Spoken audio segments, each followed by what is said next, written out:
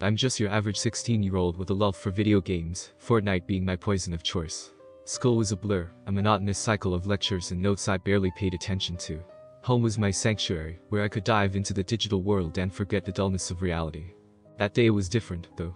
It wasn't just any game of Fortnite. It was a special event, a match advertised with mysterious allure, promising an unparalleled prize for the victor. I'd entered on a whim, my expectations low. My gaming skills were decent, but winning was a shot in the dark. Yet, as fate would have it, I won. The rush of victory was intoxicating, the cheers of my online friends fueling my elation. But it was what came after that turned my world upside down. The following day, a package arrived. No return address, just my name scrawled across the top in bold black letters.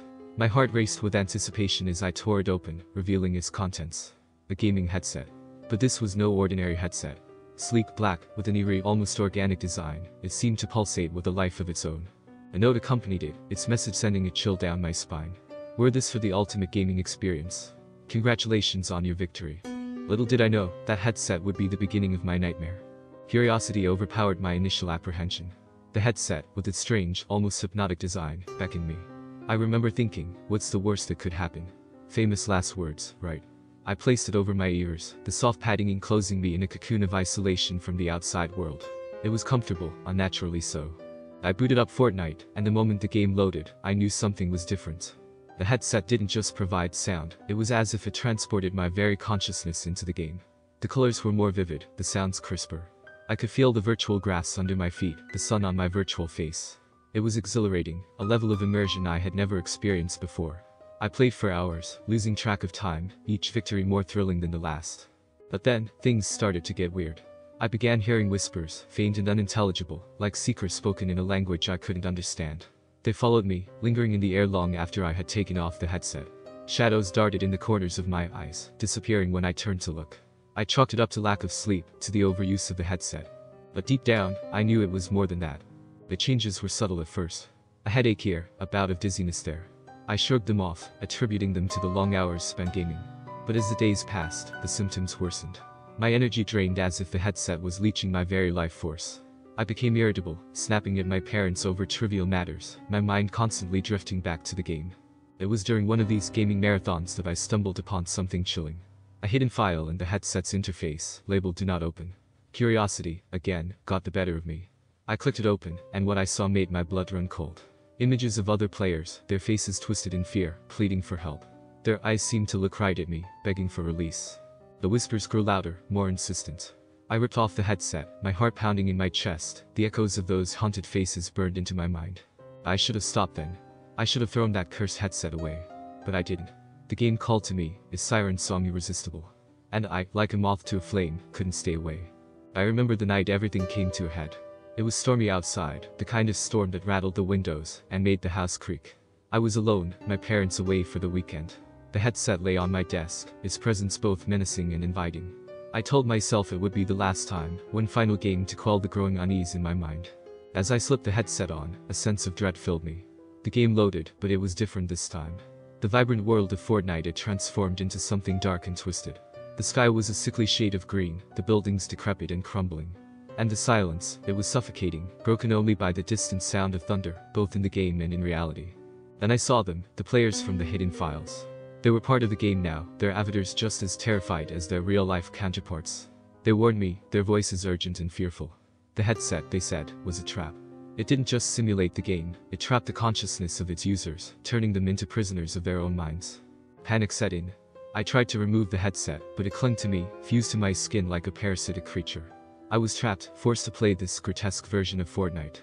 But it was no longer about building and shooting. It was survival, pure and simple.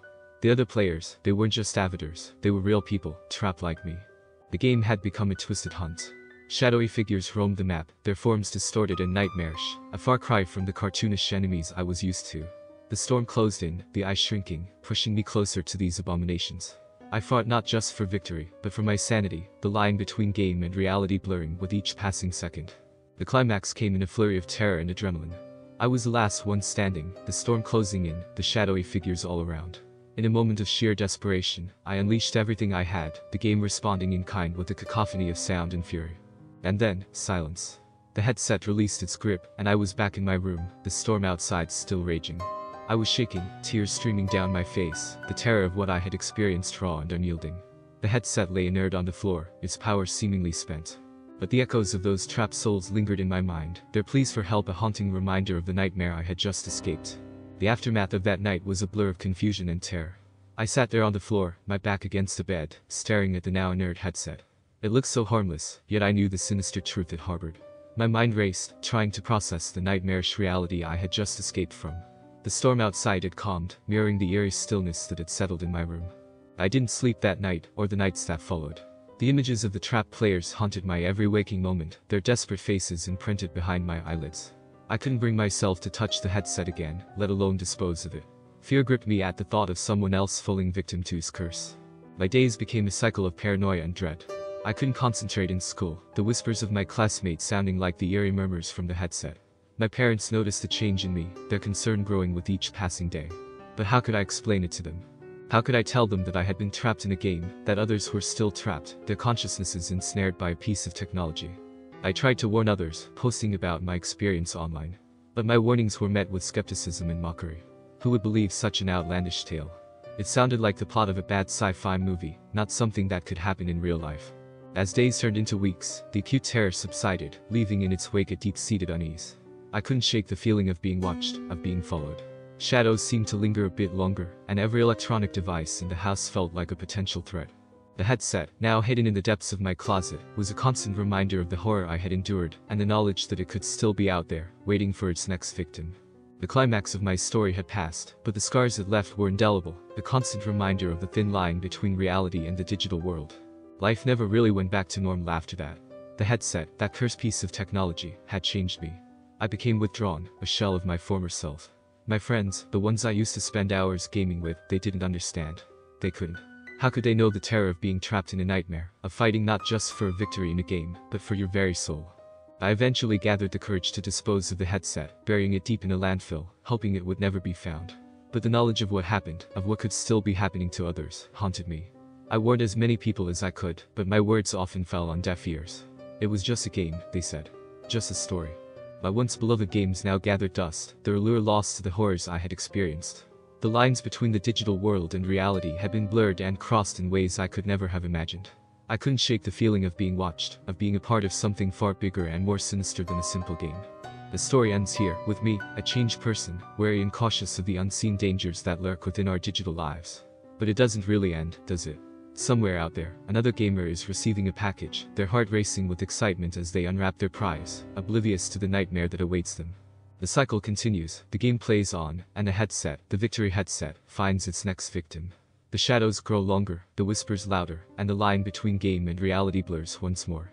And all I can do is hope that my story, my warning, reaches someone before it's too late. For in the world of gaming, victory can come at a price far greater than we can imagine. A price paid not in points or rankings, but in the very essence of our being. And so, the nightmare lives on, somewhere out there, waiting, watching, for its next player to enter the game.